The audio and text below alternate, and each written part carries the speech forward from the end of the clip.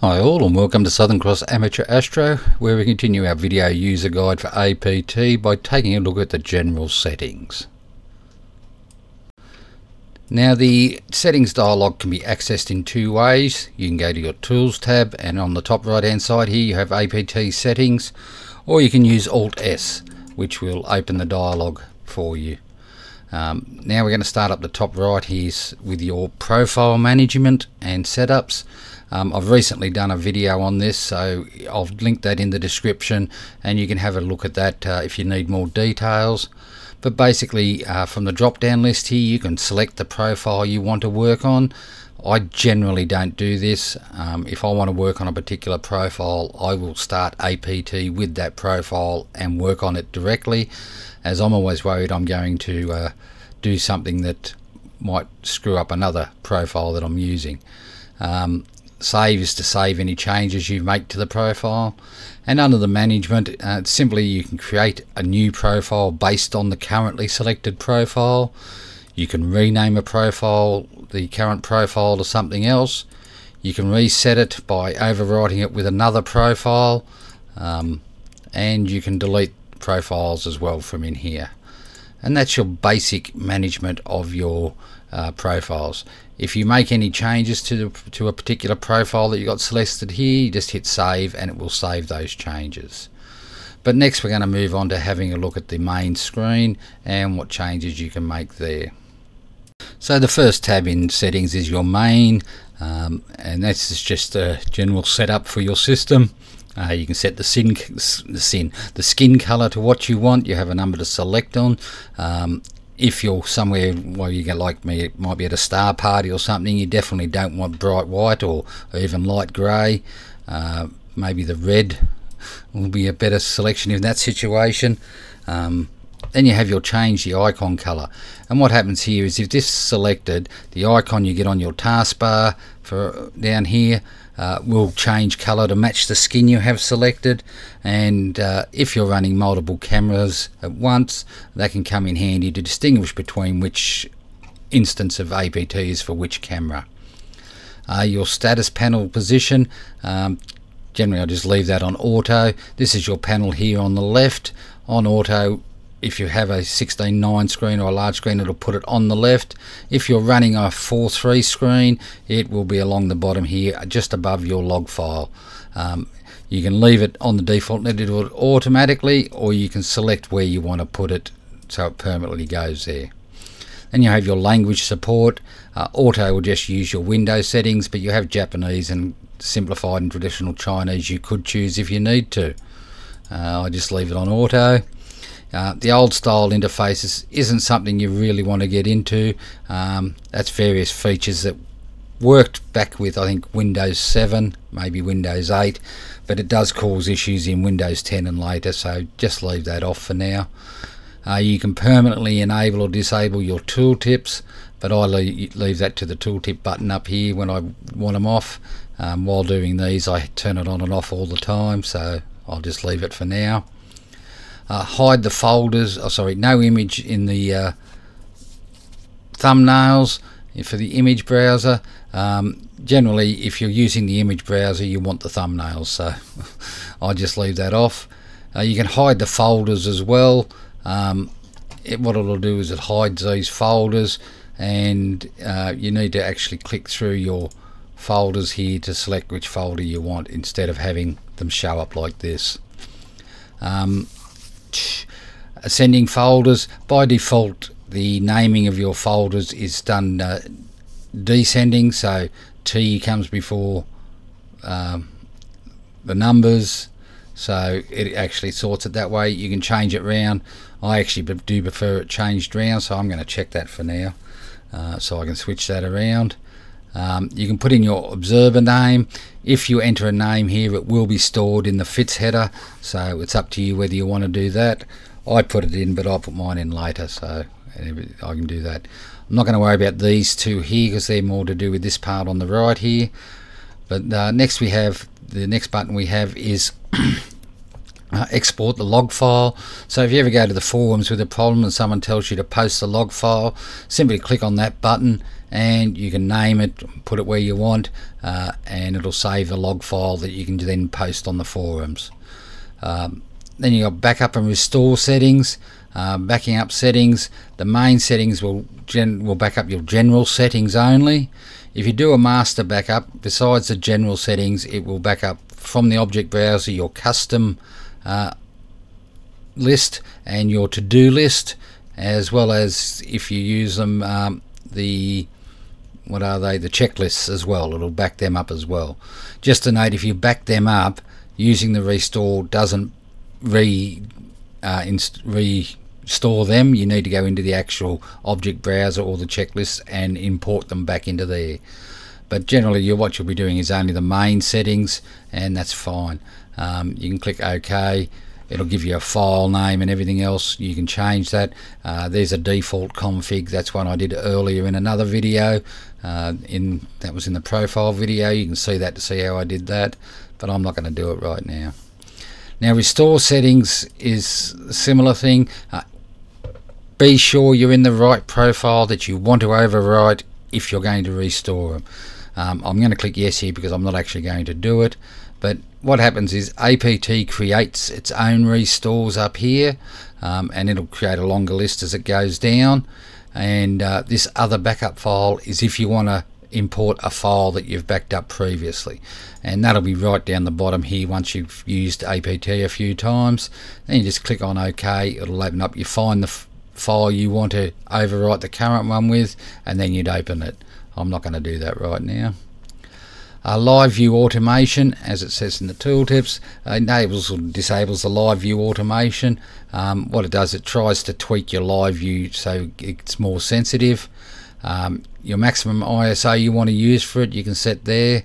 Um, mirror lockup automation, uh, it doesn't hurt to have it checked, but really uh, if you're using a DSLR, you're not likely to be using mirror lockup anyway. It's really no good if you're taking images any longer than two or three seconds, because uh, then by then any mirror vibration is not going to make much difference to the data you'll get. If you've got an old DSLR and need need one of these uh, shutter cables, you'll need to enable that, but that's only for the really old ones, and I don't know if there's many people using them anymore. Then you have your image path for your storage of your image files. Um, if you've got it set to store to your PC, and you can browse to a, a folder and create it or whatever. Um, I'm not going to change that at the moment. I change that based on focal lengths and everything else, so I'll do that later um, for in each individual profile I create. Uh, five profile grouping, that's the folders underneath your default path. Um, so in that camera number, um, you can't change that. You've always got to have the camera number. Then I have object name the date I'm imaging. Again you always need that. Uh, the camera number cannot be moved from its position. You can't move it down or up but the date is one that has to be there but you can. Um, I think you can remove it you know you can remove date but it is recommended to keep it so but I keep it up there so I know what date I'm imaging anyway um, for my folder name I have focal length and the camera name. That's how I do mine. So it's the camera number, the object name, the date I imaged, uh, the focal length I imaged at, and the camera name that I imaged it with. So that's what I use in there. Um, and as down here, you will see the information what I'm going to have. That's just a sample of what would come. So I'd have the images, then I'd have the camera number, the object, date, the focal length I'm using and the uh, camera name. So if I image with more than one camera on one night, they will be in separate folders. Uh, the next part is your name parts, and this is um, the actual name of the files themselves, each individual file. Uh, you can do what you want here. Um, I covered this in setting up a profile anyway, uh, if you want to have a look at that video. But uh, there's lots on the left there you can add put them on the right and select what you wanted to have. This is what I have and I'm happy with that so. Oh sorry about that. Next is allow spaces in file and folder names So if you've got a space in, in one of your naming parts or um, like your object name, if you include that in your path or in the file uh, name, you can have a space if you have this checked. If you don't have this checked, instead of a space, you'll get underscores. Um, hopefully it's all fixed. There was a couple of versions earlier that it wasn't working quite right. Hopefully it's all fixed now. I haven't had a chance to test it. If you use PixInsight, you can create WBP friendly file names. I don't use it, so I don't need to even worry about that one. Um, on APT, the tooltips there are on the website available different languages, and you can download them and import the, the tooltips in the language you require. But uh, that's it for the main tab and next we'll move on to the CCD tab. So next up is the CCD tab which is for your CCD and CMOS cameras. Um, first off up the top here have your color fits preview. Now this is if you want have a one shot color camera and you want to see a color fits preview naturally enough so you click on that then you need to select from here the appropriate Bayer pattern for your camera. Uh, most of them are RGGB but some of them you may need to have um, a different one so check your camera specific specifications to see what you might need um, and the next one is your store Bayer pattern this is if you want to turn off the color fits preview um, I would say no for now this stores the Bayer pattern in the uh, fits header so that when you go into um, your program, your stacking program, it will know it's a color image. This is one reason I suggest storing, um, having different profiles for a color and a mono camera because if you accidentally leave this checked or have it checked, it will store the Bayer pattern and your stacking program will likely think your images are color images with three channels rather than monochrome. So that's just something to be careful of. Uh, hide your locations in your fits header. If you never share your fits files, then you can have your location stored in it it won't worry. But if you do share them and it's your home location or whatever uh, you may want to disable that so that people don't know exactly where you are. Um, auto connect your camera pretty self-explanatory yes you want that on. Um, if you have problems with your dedicated camera, you may want to have a higher compatibility, but that's only needed if you are having problems. Um, disable the exposure minimum check. Some cameras uh, in the drivers they have a minimum exposure length set. Um, the camera is capable of going faster, but they won't let it, and this can cause issues if you're trying to do flat frames. It won't allow you to get down to a required uh, time you need to do exposure length to do a flat frame. So leave that checked um, auto populate the CCD profile. That's here in your object calculator down the bottom. It will auto get the readings from the camera and auto fill that in and that's a good thing so leave that. Um, these are all uh, personal choice now. Remember you're binning between sessions. Uh, good idea. Saves you resetting the binning each time. Uh, remember gain during between settings. Again I leave that on. It's up to you. Now manage gain. You want that enabled uh, simply because if you don't have that enabled uh, any gain you have set in the camera tab or if you go into your tools and into your uh, filter wheel um, any you have in here it won't be able to use them. Um, it'll only be able to use what you already have set in the driver. So manage gain allow that. The advanced CCD settings you're unlikely to ever need any of these so I wouldn't play with them um, especially B0 unless you have a very very good reason for do it. Um, one you may have if you have a QHY camera and you're having problems with live view you may need to do that.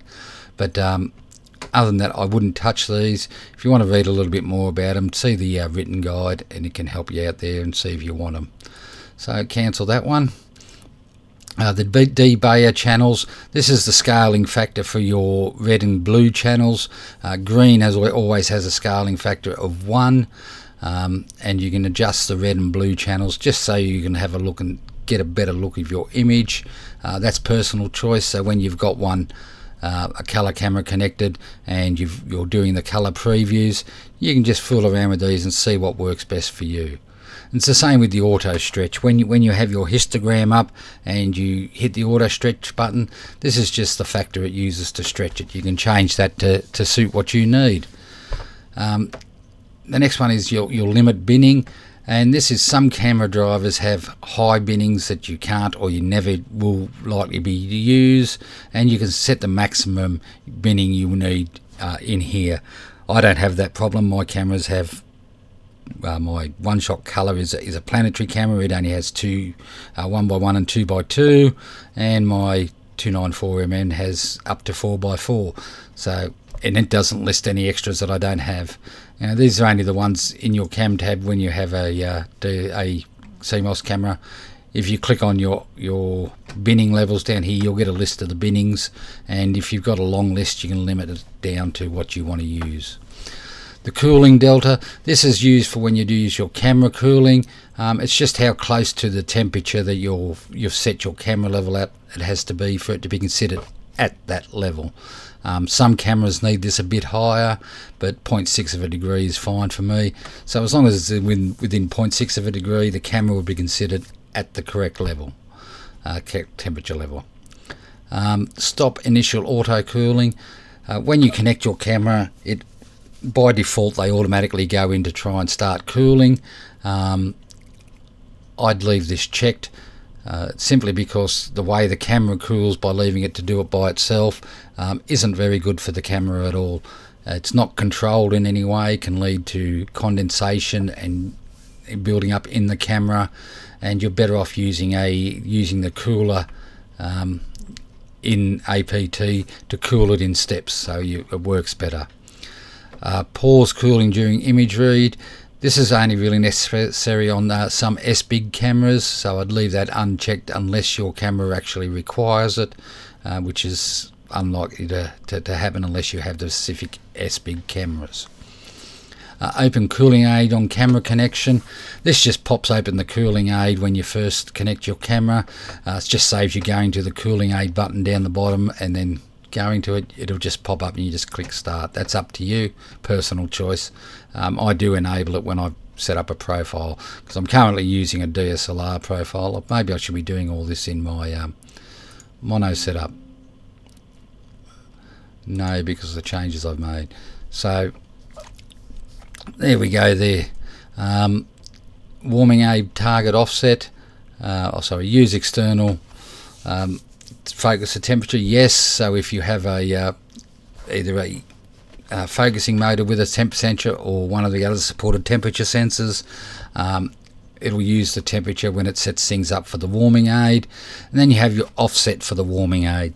So this is the temp difference between the ambient temperature and the camera temperature. It's going to try and get to for uh, when it warms the camera um, like if it's you leave it at five, five to 10 second, 10 degrees is fine. Um, if you leave it at five, um, say the ambient temperature is 15, it will try and get your camera to 10 and that's just that what that is. So it's a difference between the ambient temperature and the target temperature when you try and warm. Um, do you want it to check for the camera temperature on plan start? Uh, I generally have this um, done that way when you start a plan, if you're not at the set temperature you have here, it will warn you that it's not at the temperature and asks if you want to continue with your plan. Um, I don't go as low as minus 20, but I go generally minus 5, and I'll set minus 4 here. So if the camera's not at least at minus 4, it won't start the plan without asking do I want to start it. Then you have the camera name. This is the name that you can give the camera. It's what will appear down the bottom here uh, in your file names and everything else. So you can specify which camera you're using at that particular time.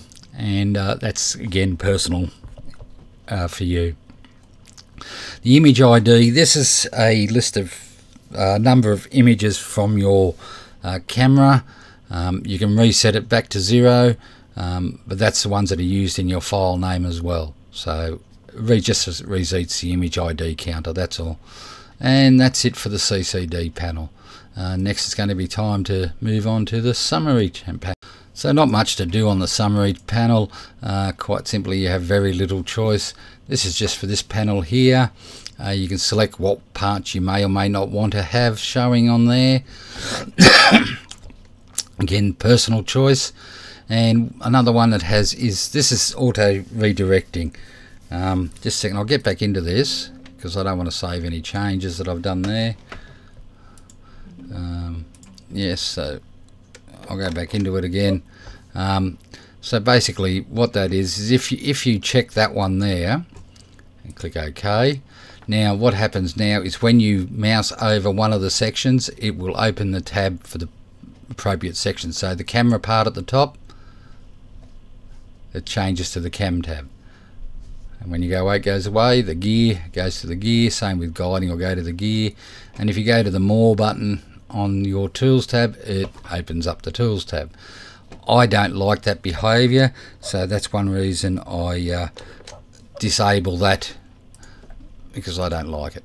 But um, yeah you can just select your whatever you want and that's that's the summary tab done. There's nothing else to say on it so next we have the temperature and sky. Um, this is up to you what you set in here, what format you want your temperatures in. Um, refocus every XXX degrees. That's a warning if you have a temperature sensor connected with your temperature up here. Um, it will warn you as it approaches them. If you're doing autofocus, you don't really need to worry about that. But if you're going to have to manually focus, uh, it will warn you by starting to flash and everything else that you're getting close to a temperature. And same with the dew point. Um, your temperature calibration. If you're uh, you think your temperature sensor's wrong or off slightly you can set it uh, to calibrate so your temperatures are, are, slightly different to what they your sensor is reading. Uh, then you have your type of sensor or no sensor. Um, only if you have the temper or temper hum you don't need to worry about these if you have the supported one there at the moment. Um, sky quality tracking that only works if you've got one of these sensors that work with um, sky quality. Uh, so you need to set them. If you have a, a uh, an eagle with an eye on the front or the rear or use a, an SQ meter from um, Unihedron Hedron, uh, they go in there. Um, I don't have one so I don't need to enable it. But that's pretty much all there is on the temperature and sky one as well. Very short those ones. So next we move on to the location tab. And this again is very self-explanatory uh, you pick your hemisphere you need uh, if daylight savings in effect or you can choose auto. And then you've got your list of locations you want. Um, you need to set your locations for, for pretty much everything to work in APT so I'd leave that set. Um, to rename a location all you do is you simply select the location you want and then in this box you type the name and it will change the name of the location.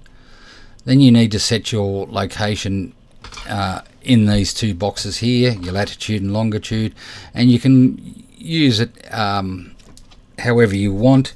You can you do it as uh, degrees, minutes, seconds, and point seconds, or you can use a decimal. So when I did the mine, I just entered minus 36. Um, or you can do the full one if you want. Same here, minus, uh, sorry, 151. Um, as long as you enter minus, it'll know you're in the southern hemisphere. Uh, a lot of some people do make a mistake with that and get in the wrong hemisphere. Your elevation is your elevation. Your time zone is your default time zone from UTC. Um, I'm in Eastern Australia, which is plus 10. If you're to the other side of the the uh, meridian, the prime meridian, um, say in the US, it'll be a minus number and make sure you get that right. I've, we've recently had someone who had theirs around the wrong way and it causes all sorts of problems with meridian flips. Um, if you're using narrowband especially, you can have an Astro Twilight offset um, because using narrowband you can actually image a bit longer, start a bit earlier and image a bit later than what you can with a uh, one-shot color camera. And I use 20 minutes for mine, so it doesn't worry me. I could use Nautical Twilight, that would work as well. Uh, show location in your main screen. Um, what this does is up here it'll show your location next to the profile you're using. So I've got not home so it's got not home up there. And then you can synchronize the settings with your mount if you want to. You can export them to the uh, use them only in APT you can import them from your uh, drivers or you can export them to them. Um, I export, and generally people will export, and you can export the PC time as well. there's a little bit of a problem at the moment I'm having with that if you can see down here in my log cannot set UTC time exception occurred um, trying to work that one out at the moment but hopefully that won't take too long and I can get it sorted but um, it's a good idea to have the export coordinates set um, depending on your driver you may need to set the driver up to be able to accept the coordinates. Um, in EQ ASCOM from EQ mod you have to set up allow site writes, um, otherwise it won't accept the information. And once you do that by just setting your location in here it will automatically be set in your mount as well at the same time. And I know Ivo I've spoken to him previously uh, I know at least in Stellarium you can export your location to Stellarium as well and if you can get that working then you only need to set your location in APT and both your planetarium and your uh, mount driver will have the same location uh, without having to go through them all. But that's it for the location tab. Starting to move through them pretty quick here, which is good. So next up we have our scope and focuser settings. Um, again, pretty straightforward most of this. Auto connect your scope if you want it to auto connect when you start up. Uh, auto hide the meridian clock and what this is if you have this selected and there's no mount connected uh, the meridian flip clock here will be hidden um, pretty basic. Mount connects, it's going to be there. Uh, I think my mount is connected, is it? Yeah, it is. That's why the clock's showing at the moment. I wasn't sort of expecting that. I didn't think of it. Um, then you have your above horizon check. Keep that because you know if you're going below the horizon, you're not going to see anything anyway. And generally, most mounts will have uh, mount limits set at the horizon unless you've disabled them. Uh, I don't like disabling mount limits, so I'll leave that checked. If you have an LX200 mount, you may need to check this one to get it working properly. Uh, low level pause over after go-tos.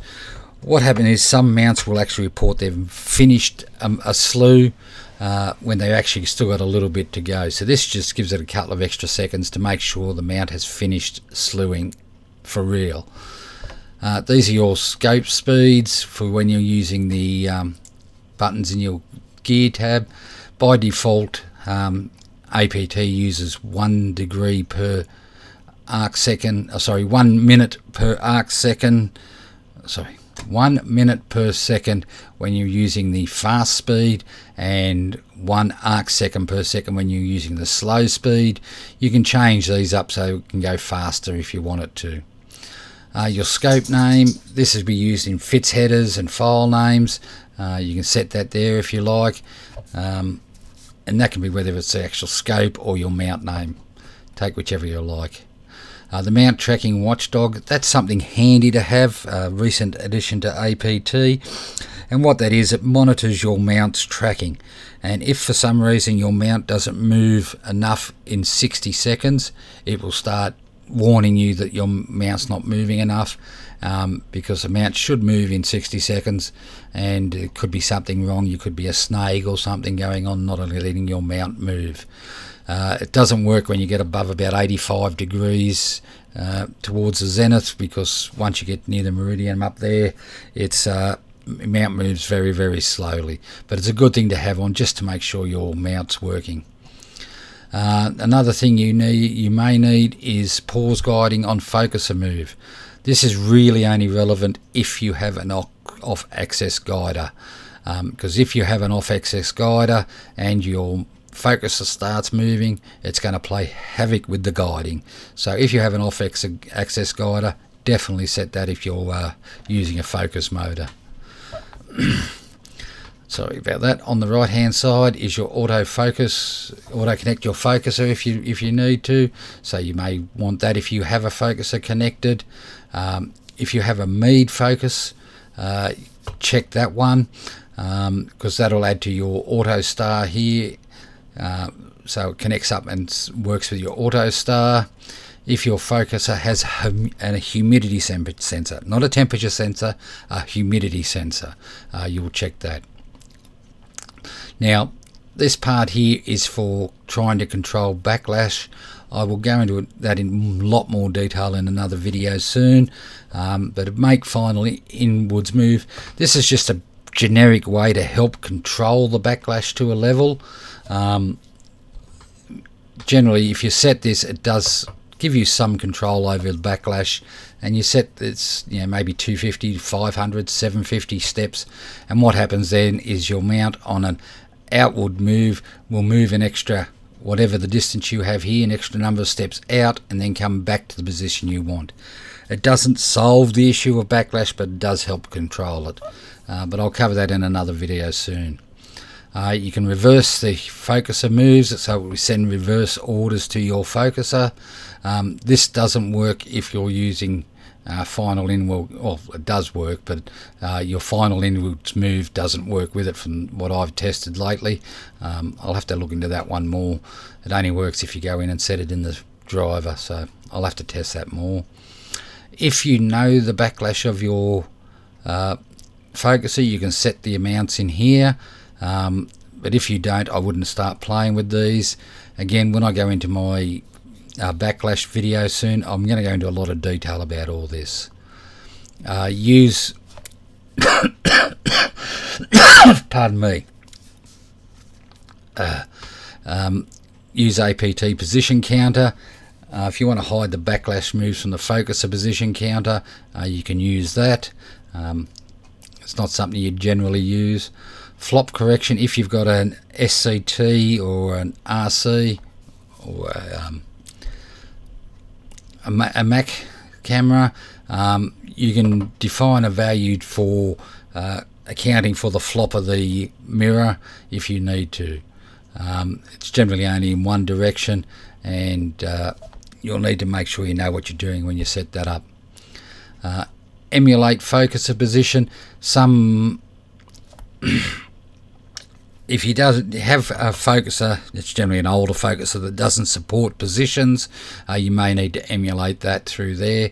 Generally today, fo uh, focuses are real focuses with proper um, mode drive motors and everything else, and they will record their own positions. Uh, remember the position between sessions, that becomes with your emulated position, um, whether you want it remembered between sessions if you're using the emulation and the emulation size step size per position. Again that's only relative to this. Then you have backlash aid. Um, oh sorry no I'm not going to go into that at the moment. Um, this is something that's a little bit handy for different things maybe not for actually doing the backlash but for making some calculations and that. Again that's something I'll go into in my backlash video which is coming up soon. Okay so that's it for the scope and focuser tab so next up is the filter wheel tab and this is a fun one. Um, I'm going to start on the right hand side here. Um, so first of all do you have a Moravian Instruments filter wheel? You check that. Auto connect, yes if you have one you'll probably want to do that. Um, if you have a manual filter wheel or filter drawer you can connect, collect yes there and then you can set it to pause for manual change. Um, and what will happen there is if you have a manual one um, and you've set a different filter at somewhere in a plan or whatever, it will actually pause, put a pop-up and tell you you need to change your filter. You go do it, come back and click OK and away you go again. Um, so that's quite handy if you have a manual one. Uh, I'm glad I've got an electronic one now, saves makes life so much easier. But I used to have a manual and do it that way.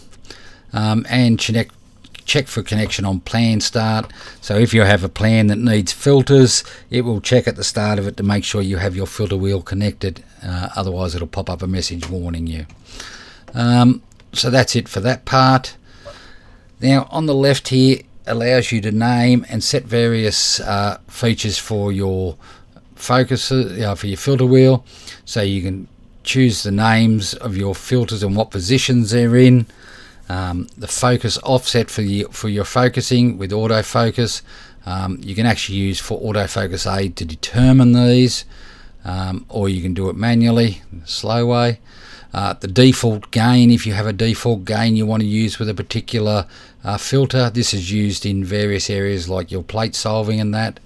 Um, the exposure length for autofocus with each filter and the uh, plate solving exposure length um, so these are all set you can set for your various filters and uh, APT will use them in uh, as they need Um, just remember that for the gain, you need to set up for uh, manage gain in your CCD, otherwise it will not work and they will be ignored. So they're just general settings you can have for your uh, filter wheel. And that's the filter wheel done. Mm, really ripping through these now. Okay, this sound tab's not going to take us long at all. Uh, you can enable or disable the sounds permanently. Um, again, I just use the button up here. I usually turn them off. Um, you can actually change the files for your particular sounds to something you want. Um, you can reset it. Uh, you can pick one and tell it to play it. There you go. So you can go to one. Um, you can import sound packages. You can export the sounds you've got. Uh, you can decide whether you want a male voice or a female voice. And uh, reset all is just a reset all button. So that's it for the sounds. You can pick your own sounds to do whatever you want, but um, yeah, that's it. that's the sounds one done. I knew that one wasn't going to take long. Okay, so next up is our planetarium. Um, if you use one, you use one. If you don't, select none. Um, these are the uh, ones that are supported by APT.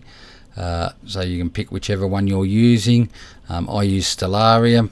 It's set up by default that's the correct ports and everything else I need for it um, and with Stellarium you can actually specify a default uh, sensor and telescope to use in it for image scaling and for uh, previewing and that and APT will match that one. So if your your first sensor is O and your first telescope you use is O um, so your first one like if I did this on mine now the sensor would be my 294mm and the telescope would be my uh, 712 my 102 millimeter f7 um, it'd be set there. So that's all you need there um, it's not going to connect it because the simple fact that uh, I don't have it running at the moment. But whether you have it running or not, it doesn't hurt to have it selected anyway because it'll just pop up a message telling you it can't connect to it. And that's fine there. But that's just stellar, uh, planetariums. If you want to use one, you use one. If you don't want to use one, you don't use one. As simple as that. Uh, you do need to configure them to be able to connect and, and be worked with by APT, but it does come in handy for uh, you know, for setting up targets and, and framing targets because you can import and export the data from them, which is quite handy. So next we're going to move on to our advanced tab. So the advanced tab is just somewhere where you've got a couple more settings you can go through. Um, if you want to delay your plan starting by a particular time up to 60 seconds you can do that. Um, zero seconds most people will use.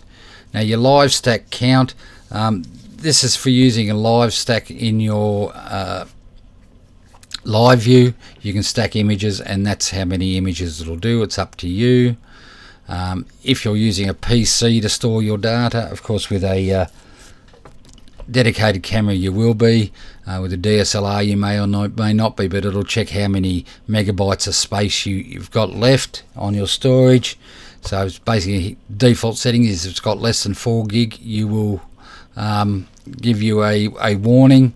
Um, so it depends on how much it needs.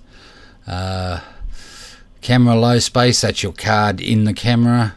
As I don't save to the card, I've always got a plenty of room on that one. Uh, the camera battery, if you're running off a battery, I run mine off a dummy battery. And just remember, if you've got a dummy battery that has a USB connection, make sure it's got a dual USB connection. If not, go out and get yourself a Y cable because a single connection will not power enough, uh, give enough power to the battery for the camera to work properly. You need to plug it into two USB ports to get the required voltage. So that's your battery limit level for your battery in your camera. Um, the PC battery, that's if you're using a laptop and running it off battery. Again, it gives you a warning. Um, if you're using an audio trigger, this is a delay. I don't use one, so I can't tell you exactly how that's going to work. But uh, I don't know many people who do. Now, extreme extreme OS, uh, uh, extreme EOS shutter delay for when you're getting down into really fast um, images that you're trying to save to your camera. Um, it can cause problems when you get really fast images going and this is just a delay for the shut up between images to give your camera time to catch up. Uh, you'll maximum ISO for AstroTortilla if you're using it um, so that's the maximum ISO it'll use. Uh, DSLR histogram stretch factor. Um, this is again going to be personal choice when you hit the auto stretch in your DSLR histogram. This is how much it goes by. I was testing this out earlier today and it seems quite funny. Uh, 0.40 seems to does do little for mine, but 0.41 it stretches the hell out of it. So I really don't know what to what to set there at the moment. Uh, well, keep testing. Uh, the profile selection timeout. When you have multiple profiles, you will get a drop down list when you start APT, and this is just how long it'll wait before automatically starting the last profile you used. Um, with the profile list, if you click on it, it stops the timer anyway, so you can set that to what you want. If you really only have one profile, if you might have multiple profiles defined but if you really only have one profile you could set this down for a second and just let it go into the same profile each time or quickly catch it when you need to change it uh, here you select how your folders are treated uh, for the time of day um, I do suggest leaving it new folders after midday. Otherwise, if you have it after midnight, um, at midnight, you're halfway through an imaging session and it starts putting all the images in a different folder. It's quite a pain. So I just leave it till after midday. Um, you don't want to use this at all. Bigger fonts if you're using an older one on um, on a small screen laptop. I've never used it, so I can't really say that. Advanced flats and bias plan, plans. This is for, um, especially with DSLRs, it allows you to specify your times and everything yourself. By default, APT uses AV mode to take uh, your flats and biases. Um, so it'll take it at what it finds to be the correct one. But uh, you can, by doing this one, you can set the, the exposure time and everything yourself. Uh, auto connect your DSLR is good to have. Uh, remember image effects. This is from your imaging tab and the preview effects.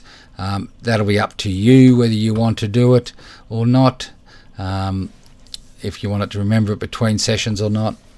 Uh, if you have a DSLR Nikon or Canon connected, you can convert the uh, CR2s to NEF. Um, but the raw file is not deleted it only creates a copy of it so just be warned with that it will increase the uh, amount of disk space you need for saving images.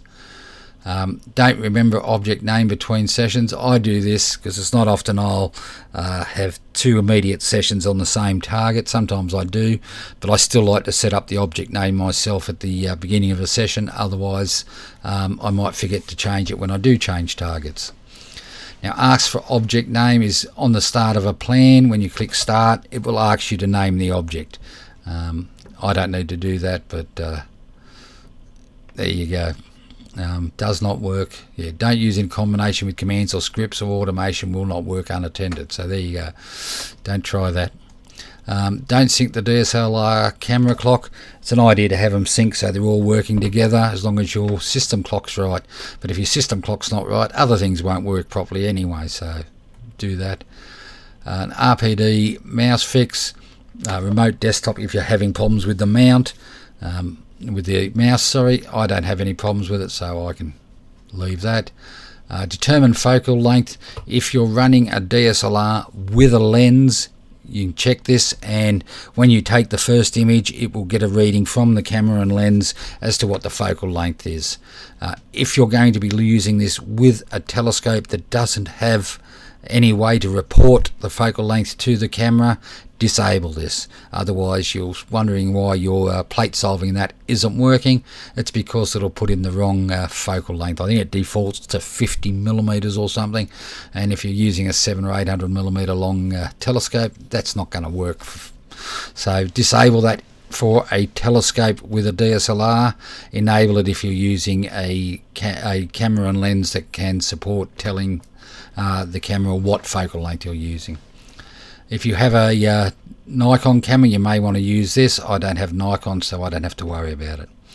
Now a Lunatico uh, GNS is a it's a uh, app for your phone that you can get that monitors uh, what's going on with your system um, with your imaging and APT and if there's a problem it reports it to that um, I don't have it it's not a cheap application to get but you may want to use it because it monitors your system and by checking this it will uh, allow you to send the details to your phone if something goes wrong so I can let you know on your smartphone if there's any events going on that you might need to know about and the final thing is uh, disable keys thingy. I do that because I never use keys thingy anyway. So that's just my personal choice again. And the last thing I haven't mentioned is down the bottom you would have noticed on all the pages is settings, uh, settings marked with a star require a new uh, restart before they come into effect. So that's everything from changing your skin color and things like that. Um, that'll only happen when you restart your um, APT. But that's it for the settings. Um, I think I'll end it here. I'll say thank you for tuning in again. Wishes all clear nights and take care. Bye.